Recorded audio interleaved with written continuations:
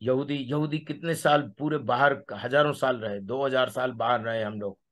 कभी कोई हम लोगों ने राय कुछ प्रोसेशन निकाला, कभी हमने किसी की लड़की को भगाया, कभी हमने किसी को मर्डर करवाया, कभी हमने किसी की बेईमानी बैंक वैंक हर अप टू डेट रहता है हम लोगों का मामला।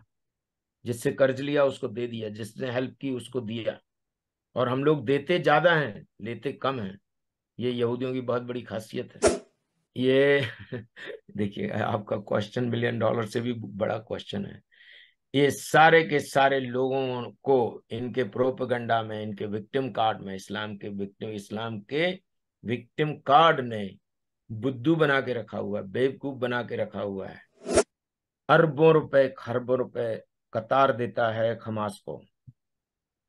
यूरोपियन यूनियन खमास को और पीए पैलेस्टीन अथॉरिटी को अमेरिका भी पता नहीं कितना पैसा आता है। देखिएगा, हमारा नुकसान बहुत हो रहा है, क्योंकि इनके नुकसान, इनको, इनकी आइडियोलॉजी के अनुसार इनका कोई नुकसान नहीं हो रहा है। भारत में किसी भी यहूदी को भारतीयों ने प्रोसिक्यूट नहीं किया आज तक।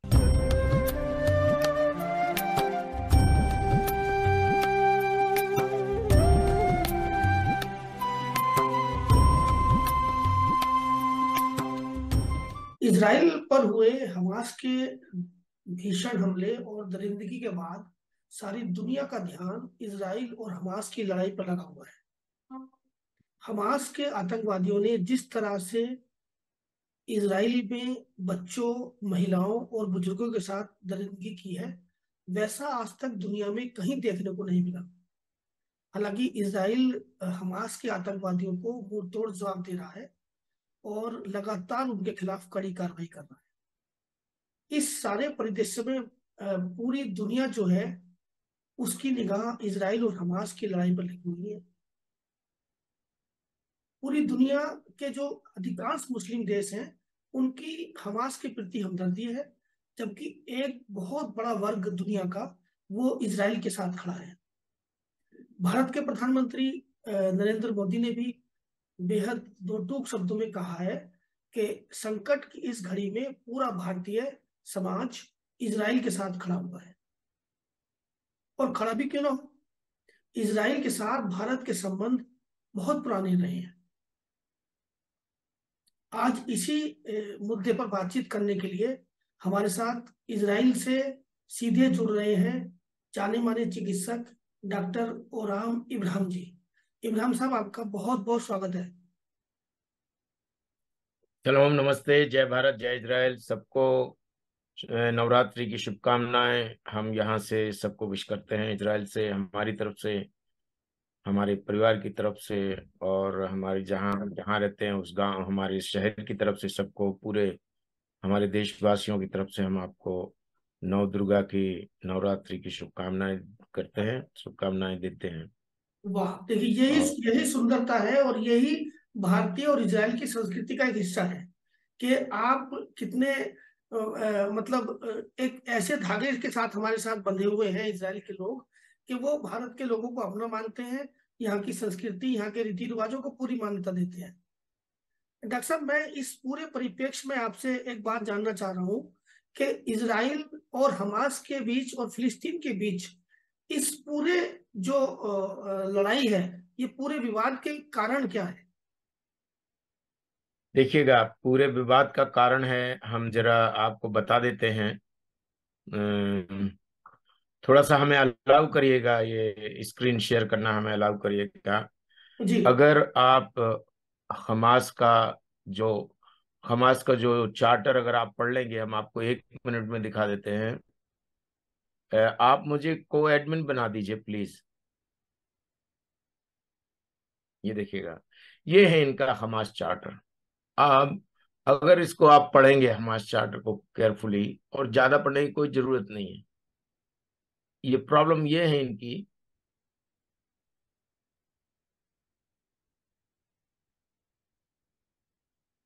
आप देख रहे होंगे स्क्रीन पे। बिल्कुल बिल्कुल बिल्कुल।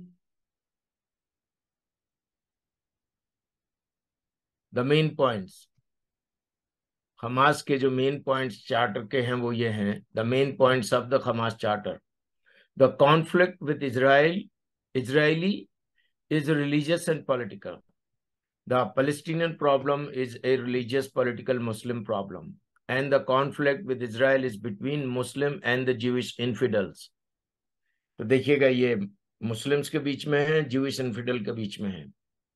पैलेस्टाइन भी है प्रॉब्लम इन्होंने बताया इस रिलीजियस पॉलिटिकल प्रॉब्लम वो है।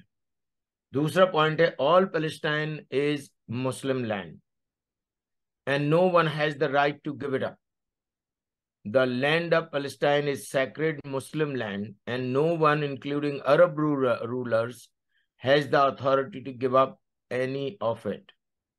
जो पूरी पलेस्टाइन है, पूरी पलेस्टाइन का मतलब क्या होता है? मालूम है आपको पूरा पलेस्टाइन का मतलब होता है? जो पूरा पलेस्टाइन का मतलब होता है, पूरा इज़राइल। ये मुस्लिम लैंड है। ये अभी की ये जो, अभी की जो पैलेस्टाइन बनी हुई है, एक छोटा सा मैप मैप में वो आता है डार्क ग्रीन या काला रंग। वो नहीं। जो पूरा पैलेस्टाइन है, वो इसराइल है, वो पैलेस्टाइन है और वो मुस्लिम लैंड है। The importance of jihad, holy war holy war is the, as the main means for the Islamic resistance movement Hamas ये इस्लामिक रेसिस्टेंस मूवमेंट का मतलब होता है Hamas to achieve its goals ठीक है? तो ये जिहाद के थ्रू इनके जो, वो गोल्स हैं, उनको लेना है। इनके जो मुख्य उद्देश्य, उनका वो है। इसके बाद जस्ट मिनट थोड़ा सा थोड़ी कंटिन्यूटी में गड़बड़ हो जाएगी हम पढ़ सकते हैं। नहीं मैं देख रहा हूँ डॉक्टर साहब पढ़ रहा हूँ मैं इसको। सही हाँ पढ़िएगा। तो तो इसके लिए एन अनकम्प्रोमाइजिंग और ये जो कह रहे हैं कि इसमें कंप्रोमाइज नहीं होगा किसी भी तरह का। जी। ठीक है?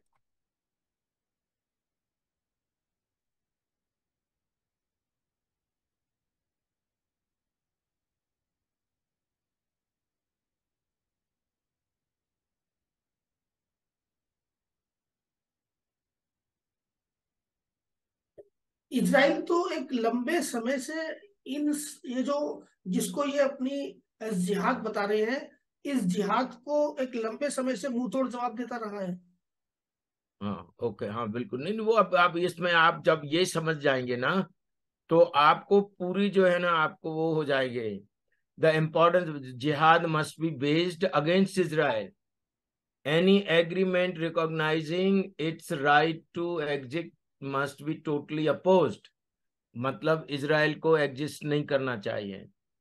Jihad is the personal duty of every Muslim okay ये देखिएगा। दूसरा उसके बाद आगे का पॉइंट है the importance of fostering the Islamic consciousness मतलब जो इस, इस्लाम की जो वो है आ, मतलब जानकारी सबको मिलना चाहिए सबको सबके पास होना चाहिए। Much effort must be invested fostering and spreading Islamic consciousness जो इस इस्लाम की विचारधारा है, वो सबके पास पहुँचना चाहिए। Much effort must be invested fostering and spreading Islam conscious by mean of education religious political indoctrination in the spread of radical Islam देखिए इस्लाम की एजुकेशन बढ़ेगी और उसको रेडिकल इस्लाम को बढ़ावा देना है।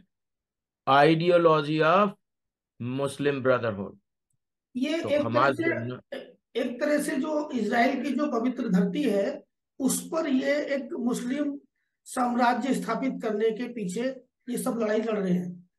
बस ये जो देखिएगा चाहे आप वो पैलेस्टीनियन वालों का झगड़ा कह लो हाँ। चाहे मुस्लिम ब्रदरहुड का झगड़ा कर लो चाहे हमास हमास से जो मुस्लिम ब्रदर ब्रदरहुड। जी जी। हमास की जो मैट में जो वो है अब अब आगे the importance of the Muslim solidarity a great deal of importance is given to Muslim solidarity, one of the whose manifestations aid to the needy through the establishment of network of various charitable societies. Okay?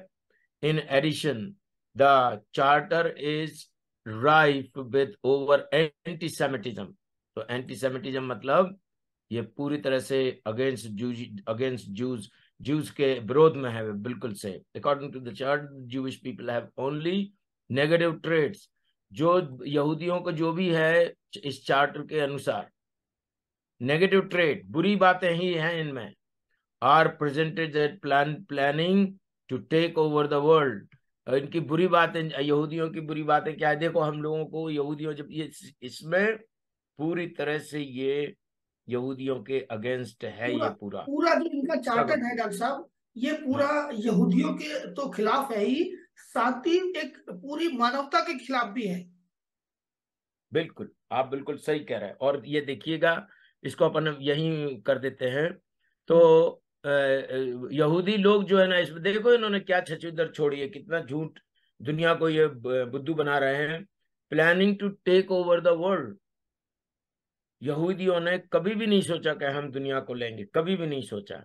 The charter uses myths taken from classical European and Islamic based antisemitism तो देखिएगा ये है हमारे इसकी जो जड़ है तो, ना तो डॉक्टर साहब मैं एक बात समझना चाह रहा हूँ यहाँ पर कि ये जो चार्टर्ड है इनका हमास का ये जो गाजा पट्टी में जितने भी मुस्लिम रह रहे हैं क्या वो भी सब इसी को फॉलो करते हैं?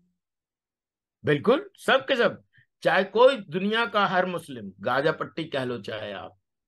तो, गाजा पट्टी कह लो। तो वेस्ट बैंक कह लो इजिप्ट कह लो जॉर्डन कह लो जो भी मुस्लिम कंट्री है वो सब सारे के, सब, सारे लोग इस चार्टर्ड को समर्थन कर रहे हैं। इस समर्थन कर रहे हैं नहीं और इस पे काम भी कर रहे हैं इस पे इसके पीछे खत्म करना हाँ। इसके पीछे उनका हाथ भी है और वो कहीं ना कहीं से पैसों से और दूसरे संसाधनों से हमास की मदद कर रहे हैं। इनकी सपोर्ट कर रहे हैं हम, हम, हमास की और जो भी इवन पैलेस्टीनियन अथॉरिटी जो पीए है जो। अराफात जो थे अराफात जो था जी। उसको भी सपोर्ट करने का एक ही कारण है कि आप यहूदियों से लड़िए और आप यहूदियों को खत्म करिए।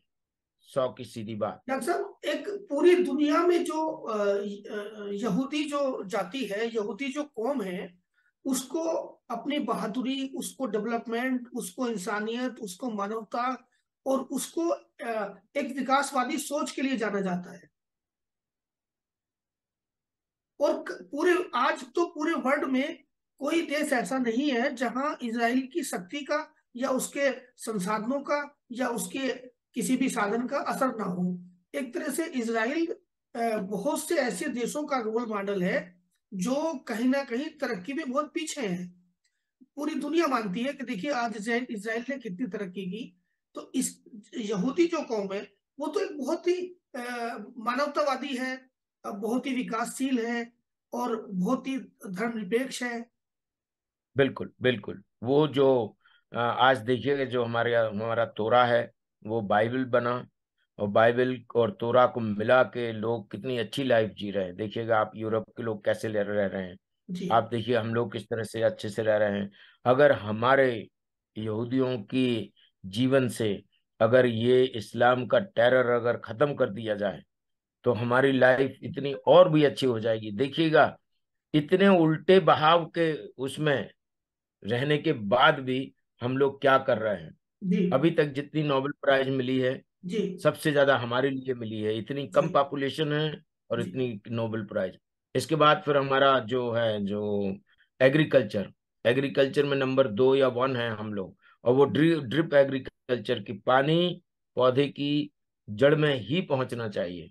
बाकी क्या अपन पानी इधर उधर देते हैं तो वो हो जाता तो ये फिर इसके बाद science and technology computer science medical science हर चीज़ में आप देखिए आपको आप, अपन जो, जो बात कर रहे हैं वो इसराइलियों की देन है। यूट्यूब इसराइलियों की देन है। फेसबुक इसराइलियों की देन है। और ये मोटरोला फ़ोन यहाँ बनाता है इसराइल में। आईबीएम इसका जो चिप है वो इसकी बात डिस्कॉम की जो हमारे साथ जो छोटी वाली जो रहती है ना जिसने अभी हमने उसे सीडी को उसने एब्सोल्यूट कर दिया। और ये सारी चीज़ें इसराइल में बनी और अभी बन रही हैं। इसके साथ ही अभी उन्होंने हाँ जी। डिफेंस के क्षेत्र में भी इसराइल ने पूरी दुनिया को एक आईना दिखाया है पूरी दुनिया को एक रास्ता दिखाया बिल्कुल बिल्कुल। डिफेंस के उसमें तो जो चीज़ें अपनी जो उन्होंने एक राइफल बनाई है तबोर वो सिर्फ़ वो खुद ही यूज़ करते हैं वो दूसरों को नहीं देते हैं। उन्होंने सिर्फ़ अपने भारत की मित्रता की वजह से भारत को दी है वो कमांडोज को। बाकी दुनिया में किसी उनका जो मरकबा टैंक जो उन्होंने बनाया है मरकबा फोर वो टैंक इतना दुनिया का नंबर वन या टू है और उसको अमेरिका के लोग कह रहे हैं कि इसकी टेक्नोलॉजी आप हमें दो हम भी बनाना चाहते हैं। और अभी उन्होंने एक और टैंक उतारा है इसी इसी वाले वॉर में वो टैंक बहुत ही ज़्यादा हाईटेक है। भारत में भी तो ये भारत में भी इसराइल का बहुत बड़ा निवेश है और मेरे ख्याल से 300 से ज़्यादा कंपनियाँ भारत के विकास के लिए काम कर रही है इसराइल की।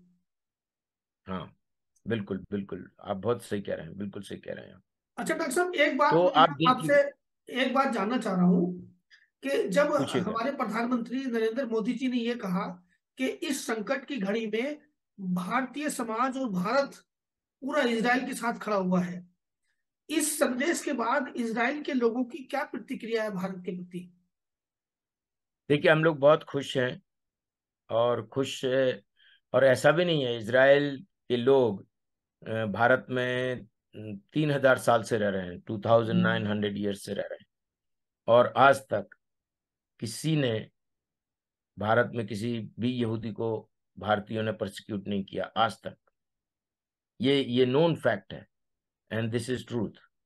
तो इसके लिए कभी कभी बीच में कभी कभी हमारी जो सरकारें रहती हैं वो एब्सटेन करती हैं यूनाइटेड नेशंस में या फिर फलस्तीनियंस के फेवर में करती हैं लेकिन इसराइल आज तक भारत के साथ है रहेगा और था।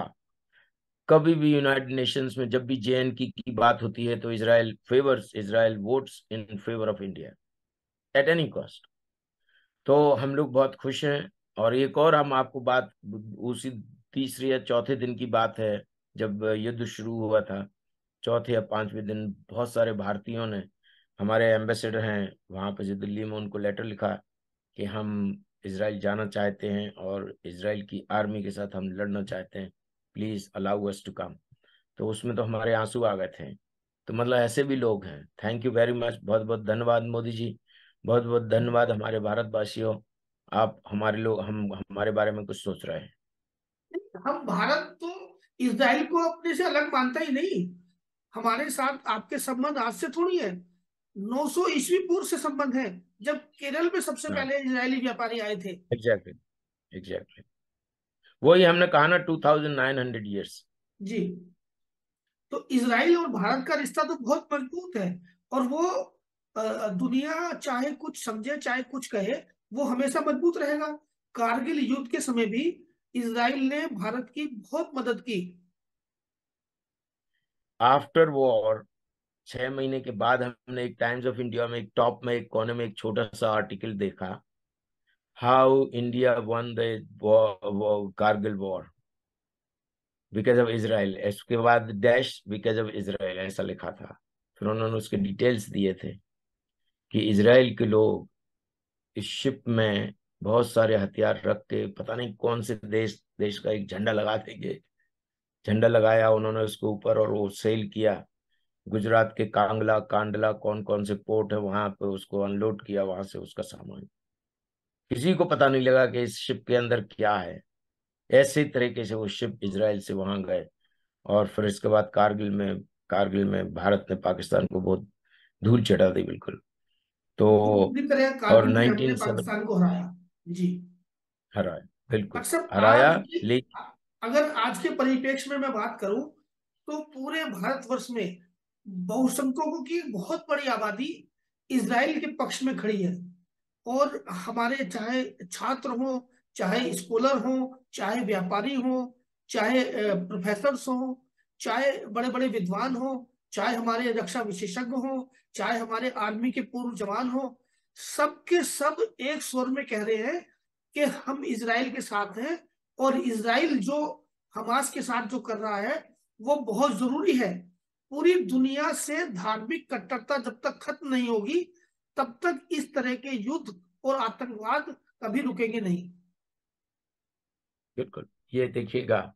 अभी तो अब थोड़ा सा अमेरिका ने अपने रंग दिखाना शुरू कर दिया है क्योंकि अमेरिका जो है ना वो आ, ये चला रहा है। क्या नाम है इनका? यू बराक हुसैन ओबामा चला रहा है अमेरिका। बाइडन का कोई रोल ही नहीं है व्हाइट हाउस में। सब कुछ वही चल रहा है और आप देखिए जब से बाइडन पावर में आए आए हैं तब से ही झगड़ा शुरू हो गया है। ट्रंप के टाइम में उसके फोर इयर्स में किसी ने हिम्मत नहीं की यूक्रेन और रशिया ने हिम्मत नहीं की कि वो यूक्रेन को सपोर्ट यूक्रेन को वो वॉर यू, यूक्रेन से वो युद्ध कर सकते हैं। किसी फलस्तीनियन आइसिस को ठिकाने लगा दिया। बहुत सारे अच्छे काम किए ट्रंप ने। और अनफॉर्चुनेटली ट्रंप को ज़बरदस्ती बेईमानी से हराने वाले ये जो मुस्लिम लोग हैं अमेरिका के। Specially Barack Hussein Obama. Barack Hussein Obama और मुस्लिम ब्रदरहुड का बहुत घना संबंध है। Barack Hussein Obama is Shiite Muslim इसलिए वो ईरान को बहुत ज़्यादा चाहता है। और आपको रिसेंटली उस चाइने का एविडेंस हम आपको दे रहे हैं सिक्स बिलियन डॉलर्स एक जस्ट गिफ्ट दी है ईरान को। और जब ये गिफ्ट तय तैयार होके तय हो गई कि जाना है हमास ने इसराइल के ऊपर अटैक कर दिया। अच्छा। बराक ओबामा मुस्लिम ब्रदरहुड को आईसिस को बनाने वाला आईसिस को प्रमोट करने वाला आईसिस का आप बताइए ऐसा कौन सा कुछ नहीं किया जब आईसिस पूरी तरह से लीवांत में इराक में और सीरिया में जब पूरा उनका वो within forty twenty four hours ISIS became the richest terror organisation in the world अब ओबामा उस टाइम वो था। लेकिन डॉक्टर साहब अभी कुछ नहीं किया ओबामा ने। अभी तो बीच में अमेरिका के विदेश मंत्री का इसराइल दौरा हुआ और अमेरिका के रक्षा मंत्री भी इसराइल आए और अमेरिका ने अपना एक बेड़ा भी भेजा इसराइल की मदद के लिए। इसको कैसे देखते हैं आप? देखिएगा, अभी क्या है कि ये बाइडन का भी ऐसा लग रहा है हमें एक अंदर, अंत, अंतर्मन की बात है कि बाइडन थोड़ा सा अभी पैलेस्टीनियंस के लिए सॉफ्ट हो रहा है। बाइडन को ये ओबामा ने बोला होगा कि क्या कर रहे हो? चलो बंद करो ये, क्या हो रहा है ये? और हमाज को उसमें इसको गाजा को इसराइल को लेने की कोई ज़रूरत नहीं है। ठीक है? असली में ये जो जो तोड़ा फोड़ी हुई है ना, ये ओबामा के प्लान के अगेंस्ट हो गई अनफॉर्चुनेटली लेकिन अब उसने कहा कि नहीं नहीं भाई, अब अब इसको ग्राउंड अब जैसे इसराइल अगर गया वहाँ पे गाजा में अंदर चला गया तो हमास का खात्मा हो जाएगा, पूरी तरह से। और फिर अभी ये भी एक स्ट्रेटजी हम लोगों की चल रही है, हम जो लोकल इजरायली सिटीजन है, जो इसराइल में रहते हैं, वो ये कह रहे हैं कि आप गाजा लो और गाजा लेने के बाद आप रुको गाजा में। ऐसा मत करो जैसा कि पहले हुआ था। 2005 में गाजा को अनकंडीशनल वापस कर दिया था इन, इनको। ये ये ये बहुत बड़ी पैलेस्टीन अथॉरिटी को। ये इसराइल की ऐतिहासिक भूल थी जिसका खामियाजा नहीं उठाना पड़ा। खामियाजा नहीं देखिएगा हमारी डेटा है अभी आपको टू थाउज़ेंड फाइव में हमा इसको गाजा को इसराइलियों ने छोड़ा। अरबों के लिए इनके लिए फलस्तीनियंस के लिए। 2006 में हमास ने उसको टेक ओवर किया। और विद इन टू ईयर्स 2008, 12, 14, 21 कितने वॉर्स लड़े गए?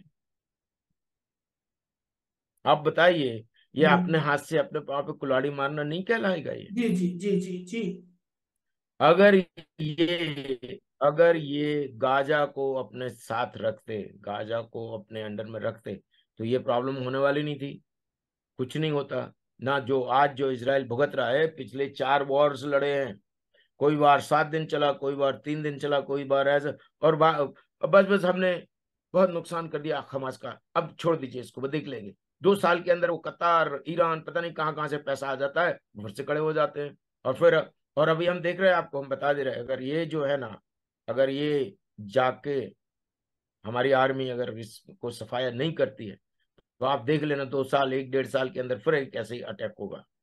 अब अब डॉक्टर साहब कुछ क्या अब आपको क्या लगता है डॉक्टर साहब के कितने दिनों में पूरा गाजा इसराइल की सेना के हाथ में आ जाएगा? देखिए गाजा अभी भी इसराइल की सेना के हाथ में है ऑलमोस्ट पूरी तरह से।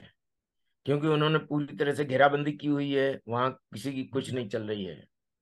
इसराइल की आर्मी ने उसको पूरी तरह से चारों तरफ़ से घेर लिया है। लेकिन जो अंदरूनी जो बात, जो चीज़ें हैं, जो पूरा इनका इंफ्रास्ट्रक्चर है, इनकी जो टनल्स हैं, इनके जो रॉकेट लॉन्चर्स के जो वो वो हैं, जगह हैं इनकी, वो सब इसराइल को डिस्ट्रॉय करना है। और देखिएगा, अभी भी फायरिंग हो रही है, अभी भी रॉकेट फायर हो रहे हैं। इसका मतलब ये है कि इनके पास अभी भी कोई जखीरा पड़ा हुआ है कहीं, बना के रखा हुआ है इन्होंने। वो इसराइल को खत्म करना है। और भविष्य में कोई और कोई अटैक ना हो इवन एक रॉकेट नहीं फायर किया जाना चाहिए गाजा से उसका इंतज़ाम। और उसके बाद ठीक है बाकी की पॉपुलेशन लौट के आ जाएगी इसराइल की आर्मी और इसराइल उस पॉपुलेशन का ख्याल रखेगा कोई ज़रूरत नहीं किसी को देने की। या आप किसी को अच्छी अच्छी करने के लिए कुछ करो और फिर आपके ऊपर आ जाए वो फिर। तो डॉक्टर साहब आपका कहना यह है कि बहुत जल्दी ही पूरे गाजा पर इसराइल की सेना का नियंत्रण होगा और वहाँ का एडमिनिस्ट्रेशन वहाँ का ए टू जेड कब्जा इसराइल सरकार के पास होगा। ये हमारी सोच है हमारे सिटीजन्स की सोच है। लेकिन अब इसमें आज जो बाइडेन का जो बयान आया है उसने सबको झकझोर करके रख दिया है। सारे मीडिया को सब लोग बाइडेन को धोखेबाज बोल रहे हैं।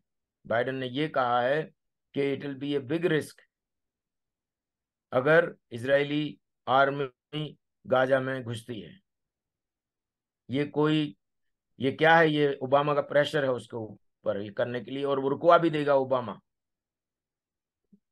आगे की प्रोसेस पूरी रुकवा देगी और ओबामा इज़ एंटी अमेरिकन देशद्रोही है ओबामा। क्यों? क्योंकि उसके कितने सिटीजन मारे गए और इन इस 150 के लॉट में कम से कम 17 से 20 और ज़्यादा भी हो सकते हैं। अमेरिकन सभी वो हैं होस्टेजेस हैं। फिर भी उसको ये कह रहा है कि नहीं अभी कुछ मत करो इसको। ये है अभी पॉलिटिक्स नहीं होना चाहिए यहाँ पे। और अगर फिर इनको ये काम करना चाहिए इनको एक काम करना चाहिए कि बाइडेन को बोलो कि भाई आप अपना काम करो। Let us do our work shalom नमस्ते। आप अपना काम करिए हमें अपना काम करने दीजिए। आपका ये हमारी गवर्नमेंट को बोलना चाहिए। आपका आ, कहना ये है डॉक्टर साहब या इसराइल के लोगों की भी ये सोच है कि अभी व्हाइट हाउस को बैकडोर से बराक ओबामा चला रहे हैं? बिल्कुल हंड्रेड परसेंट ये जग, जगत ज़ाहिर है ये व्हाइट हाउस को ओबामा चला रहा है। बहुत, जो बहुत ही हाईली क्वालिफाइड इंटेलेक्चुअल्स जो हैं, वो उनको मालूम है और दे आर श्योर कि व्हाइट हाउस को अमेरिका को ओबामा चला रहा है। ये डॉक्टर साहब ये पूरी इस इस पूरे टकराव में इस पूरी लड़ाई में इसका सांस्कृतिक राष्ट्रवाद जो है इसराइल का उसका कितना बड़ा नुकसान हो रहा है? देखिएगा हमारा नुकसान बहुत हो रहा है क्योंकि इनके नुकसान इनको इनकी आइडियोलॉजी के अनुसार इनका कोई नुकसान नहीं हो रहा है। इस्लाम के अनुसार इनकी तो आपकी लाइफ है? हाँ वो हम वही तो कह रहे हैं ना ये आइडियोलॉजी की लड़ाई है कि एक आइडियोलॉजी ऐसी है जो जीवन को जीवन रक्षक है। और एक आइडियोलॉजी ऐसी है कि जीवन को खत्म कर दो। आपके जीवन आप यहाँ आए हो एग्ज़ाम के लिए आए हो अगर मर गए तो भी आपको जन्नत मिलेगी और अगर आप जी गए तो फिर आपको वो वो लूट पाट का वो बाउंड्री मिलेगी। और बीच में अल्लाह है। अल्लाह आपको सब कुछ देगा अगर आप अल्लाह के कौज के लिए, और अल्लाह का कौज क्या है? मार मार के मुसलमान बनाइए इस कौज में अगर आप जीत गए तो आपको पैसे मिलेंगे और औरतें मिलेंगी। और अगर इस काज के लड़ते हुए अगर आप मर गए तो आपको फिर ऊपर पैराडाइज में बहत्तर पूरे मिलेंगी आपको। शहदों की नदी, शहद की नदियाँ मिलेंगी। आपको वाइन मिलेगी आपको विस्की मिलेगी उसकी नदियाँ वहाँ बह रही हैं।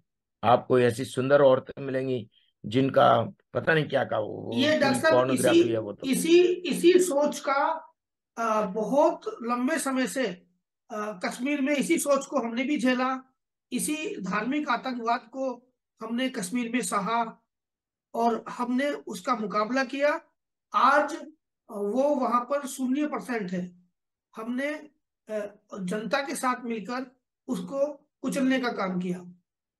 तो क्या आप इस पूरी समस्या का हल कैसे ढूंढते हैं कि ये इसराइल में फिर से वही खुशहाली, फिर से वही शांति, फिर से वही सांस्कृतिक राष्ट्रवाद और फिर से वही आपसी एकता, प्यार का संदेश फैले, ये इसका कैसे हल निकलेगा? देखिएगा, इसका हल इतना प्यारा हल है मगर इसको करना नहीं चाहते। देखिएगा। अरबों रुपए, खरबों रुपए कतार देता है खमास को। यूरोपियन यूनियन खमास को और पीए पैलेस्टीन अथॉरिटी को अमेरिका भी पता नहीं कितना पैसा आता है। अगर उस पैसे को ये लोग अपने ऊपर खर्च करें तो उस, इन लोगों से खुशहाल आदमी कोई नहीं रहेगा दुनिया में। लेकिन इतना करप्शन है इन लोगों में, दोनों जगह, हमास में भी और इनमें ये सब के सब वो पैसे जो आते हैं ना, खुद खा लेते हैं और हथियारों में लगा देते हैं। ठीक है? पैलेस्टीनियन अथॉरिटी के इलेक्शन पिछले चौदह साल से नहीं हुए हैं। वहाँ का जो प्रेसिडेंट है पीए पीए प्रेसिडेंट बोलते हैं, जिसको महमूद अब्बास नाम है अबू माजिन भी बोलते हैं उनको। उसने, उस बंदे ने अभी तक इलेक्शन नहीं करवाए वहाँ पे। खमाश के इलेक्शन सिर्फ़ एक बार ही हुए हैं तो 2007-8 में। और जब से खमास को उसको गाजा के ऊपर कब्जा कर लिया जो कुछ बोलता है अगेंस्ट उसके ठोक दो उनको। मार दो तो सीधे सॉरी ये, लोग तो लोकतंत्र की व्यवस्था में विश्वास नहीं रखते ना। लोकतंत्र तो इनके बिल्कुल नहीं रखते। नहीं। नहीं है। ठीक है अभी हमारी बात खत्म नहीं हुई है वर्मा जी। अच्छा अब क्या है देखिएगा अब इस पैसे को अच्छा इनके पास कितने देश हैं? सत्ता सत्तावन है बावन है तिरपन है कितने हैं? और मिडिल ईस्ट ही में दो पड़ोसी दोस्त दो पड़ोसी तीन चार पड़ोसी पड़ोसी देश जो है ना सबके सब मुस्लिम है। सऊदी अरेबिया के पास कितनी जगह है? इजिप्ट के पास किस पास कितनी जगह है? जॉर्डन के पास कितनी जगह है? कितनी पॉपुलेशन होगी हो, इनकी? फलस्तीनियंस की चार लाख सॉरी चार मिलियन साढ़े चार मिलियन इस पैसे से। अच्छा फिर एक और एक पॉलिसी बनाई जा सकती है कि जो इनकी प्रॉपर्टी यहाँ पे है फलस्टीनियंस की जो प्रॉपर्टी यहाँ है, पूरी की पूरी प्रॉपर्टी का एक इवेल्युएशन करके, या फिर वो ये भी कर सकते कि खैर हमको अगर कोई फलस्टीनियर घर दिया जाएगा तो हम नहीं रहेंगे उसमें, क्योंकि वो क्वेश्चन नहीं रहता। उनको उस प्रॉपर्टी की वैल्यू दे दी जाए। जैसे ये हमारा घर है हम इसमें रहते इसकी इसकी वैल्यू है one million shekel one million shekel हो जाता है दो करोड़ रुपए। दो करोड़ रुपए है, हम आपको दे रहे हैं दो करोड़ रुपए। चलो गवर्नमेंट खरीदी। Government of Israel is buying your house in two crore rupees आप दीजिए और जाइए। अच्छा इसके बाद या तो कोई भी एक मुस्लिम कंट्री इनको ले सकती है, या फिर पाँच, छह मुस्लिम कंट्रीज़ मिलके ले सकती हैं। चार मिलियन में, साढ़े चार मिलियन में हाफ़ मिलियन इजिप्ट में भेज दो। हाफ़ मिलियन सऊदी अरेबिया में भेज दो, हाफ़ मिलियन जॉर्डन में भेज दो, हाफ़ मिलियन सीरिया में भेज दो, हाफ़ मिलियन ऐसे करके आप अच्छा आप अरबी बोलते हो, आपका खुदा एक है, आपका कल्चर एक है, आप किसी भी मास्क में इकट्ठे होकर प्रेयर कर सकते हो, आपके लोग, आपका सिस्टम, आपके पैसे, आपका वो। करो ना इस बात को। इसराइल भी फ्री हो जाएगा आप भी फ्री हो जाओगे। मर रहे हैं दोनों जगह से दोनों तरफ़ से। इसराइल के लोग भी मर रहे हैं। ये तो मुस्लिम्स भी मर रहे हैं। ये तो डॉक्टर साहब आप बहुत शानदार हल बता रहे हैं कि मिस्र में भी और सीरिया में भी और जोर्डन में भी लाखों हेक्टेयर ज़मीन खाली पड़ी है और पॉपुलेशन कम है। तो अगर इस समस्या का एक स्थायी हल अगर देखना है दुनिया को ढूंढना है तो ये सारी जो जनसंख्या है वो इन चारों देशों में बढ़ जाए। और वहाँ रहे आराम से। बिल्कुल और इसके बाद इसके बाद कुछ मैं कुछ सालों तक एड देते रहो आप। हाँ। यूरोपियन यूनियन की एड आ जाए अमेरिका की और इसके बाद जब फिर उनके इंडस्ट्री खड़ी हो जाए उनकी एग्रीकल्चर खड़ी हो जाए फिर उनको रहने दो अपने पाँव पे। क्यों उनको पता गाजा में कोई यंग कोई कोई अंग आदमी काम नहीं करता गाजा में। सब के सब इसी यूरोपियन यूनियन के पैसे पे रहते हैं। फ्री की लाइफ जीते हैं चार चार बच्चे हैं अच्छा मकान है और ये ये, ये मकान वकान के लिए यूरोपियन यूनियन उनको स्पॉन्सर करता है। क्योंकि वो लोग कुछ काम ही नहीं करते जब अरे भाई जब किसी को फ्री में हर चीज़ मिल रही तो काम करने की क्या ज़रूरत? तो आप बिगाड़ रहे हो उनको। तो एक तरह से यूरोपियन यूनियन पे दबाव क्यों नहीं डालता इसराइल कि यहाँ जो फाइनेंस देखिए करें? ये देखिए, आपका क्वेश्चन मिलियन डॉलर से भी बड़ा क्वेश्चन है। ये सारे के सारे लोगों को इनके प्रोपगंडा में, इनके विक्टिम कार्ड में, इस्लाम के विक्टिम इस्लाम के विक्टिम कार्ड ने बुद्धू बना के रखा हुआ है, बेवकूफ़ बना के रखा हुआ है। एक एक और इसका, एक और एग्ज़ाम्पल दे रहे हैं। जितने भी ये अरबी लोग जो है ना, भाग जाते हैं यहाँ से ये कह के कि हम इस जगह में सेफ़ नहीं है। वो यूरोप चले जाते हैं, जर्मनी में है बेल, बेल्जियम में है। बेल्जियम की तो इन्होंने हालत खराब कर दी। हम थे वहाँ पे एक साल के लिए, पढ़ने गए थे हम बेल्जियम में। उसको मुस्लिम कंट्री बना देंगे ये कुछ सालों बाद। इंग्लैंड इंग्लैंड की हालत इतनी खराब है कि वहाँ को ये टेक ओवर करके एक अच्छी खासी सिविलाइजेशन एक अच्छी खासी साइंस बहुत साइंस में काम किया है इंग्लैंड ने। पूरी दुनिया में बहुत जो इंग्लैंड का जो कंट्रीब्यूशन है सारे पूरे यूरोप का बहुत कंट्रीब्यूशन है ज़्यादा, लेकिन स्पेशली इंग्लैंड का कंट्रीब्यूशन बहुत ही सब्सटेंशियल है। वो सब खत्म हो जाएगा, क्योंकि जहाँ ये पहुँच जाते हैं, जहाँ ये पहुँचते हैं, इनका शरिया होता है, इनकी कुरान होती है, और इनकी कुरान में लिखा हुआ है कि जो कुछ भी कर रहा है, वो अल्लाह कर रहा है।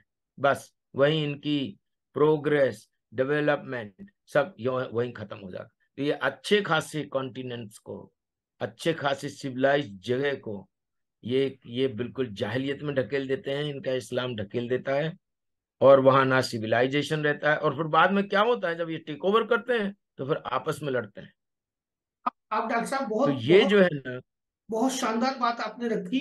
बेल्जियम है इंग्लैंड है कनाडा है ऑस्ट्रेलिया है और अभी ताज़ा ताज़ा फ्रांस में भी ये मामला हुआ कि जहाँ ये लोग बड़ी संख्या में शरणार्थी के तौर पे पहुँचे और वहाँ की नागरिकता प्राप्त की और फिर उसी देश के लिए बहुत बड़ा सिरदर्द बन गए।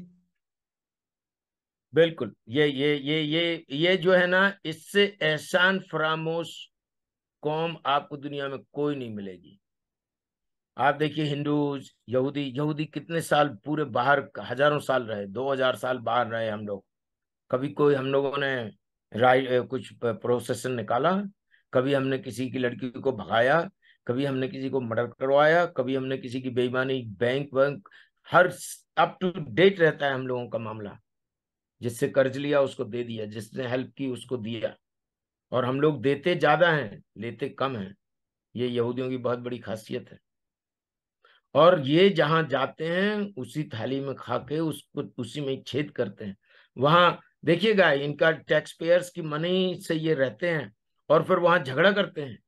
वहाँ की इकोनॉमी बिगाड़ देते हैं। वहाँ के लोगों को परेशान करते हैं शांति से काम नहीं करने देते हैं। बिल्कुल आप और उसी पैसे से आपकी लाइफ चल आप बहुत सही बात कह रहे हैं। अभी इटली की प्रधानमंत्री ने तो ये कहा कि अब किसी भी मुस्लिम शरणार्थी को जो है कोई डोनेशन नहीं दी जाएगी कोई मदद नहीं की जाएगी। और इटली बहुत सख्ती के साथ मुस्लिम शरणार्थियों को अपने देश में आने पाबंदी लगाएगा। अगर यूरोप के देश ये कदम नहीं उठाते तो आने वाले समय में बहुत खतरा हो जाएगा धार्मिक आतंकवाद का दुनिया के सिर पे। क्योंकि आज जो दुनिया है, वो बहुत तेज़ी के साथ तरक्की कर रही है। आज किसी भी देश में सरिया जैसे कानून का कोई वजूद नहीं है। आज आदमी चाँद पर जा पहुँचा और ये आज के युग में पुरातन सदियों पुराने सरिया कानून की बात करते हैं।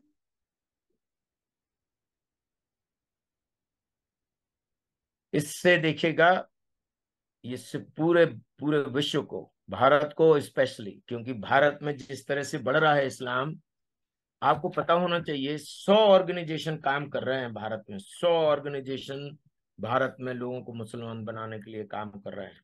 इसके बाद, आप देखिएगा हमारे पास ये, के लिए हमें ये एक डेटा सीट मिली है जे के में ऑलमोस्ट वहाँ ये हिंदुओं को रहने नहीं देते वेस्ट बंगाल में ममता बनर्जी ने वेस्ट बंगाल का ये फ्यूचर है कि वो उसमें, बांग्लादेश में मिल जाएगा। केरला में इनकी परसेंटेज थर्टी फाइव के आसपास हो गई है।